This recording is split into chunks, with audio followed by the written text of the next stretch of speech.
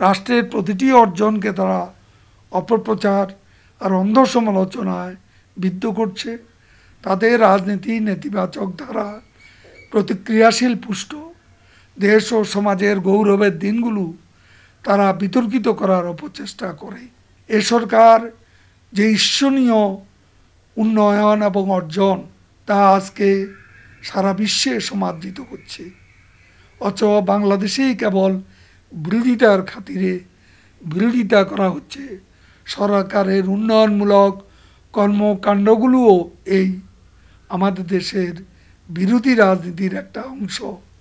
তারা দেখতে পায় না বিশেষ করে বিএনপি, তারা দিনের আলোতেও রাতের অন্ধকার দেখতে পায়। জনগণের সমর্থন না পেয়ে ক্ষমতায় যেতে খুঁজেন তারা অন্ধ চোরাগুলি।